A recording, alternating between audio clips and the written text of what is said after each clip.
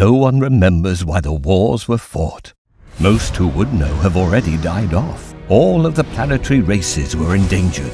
Before the mass extinction and the collective war, there was a treaty, an agreement between races. They were to live separately in peace on a planet forged from the destroyed remnants of their homes. This peace lasted thousands of years. They had all built new homes and lives in their separate borders. Then came the calamity. The planet broke apart. Now you must violate the treaty and cross forbidden borders to return to your family.